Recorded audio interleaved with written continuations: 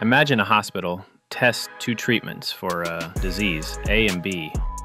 Treatment A has a higher success rate for patients with mild cases. Treatment A also has a higher success rate for patients with severe cases. Logically, treatment A must be better overall, right? Not necessarily. This is Simpson's paradox. It can happen that when you combine all the data, treatment B shows a higher overall success rate. How? Imagine that treatment A, being more aggressive, was used mainly on severe cases, which have a low chance of success, while treatment B was used on mild cases with a high chance of success.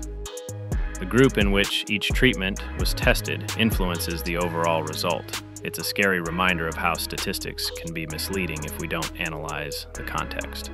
Ever been fooled by numbers? Follow to learn how to protect yourself.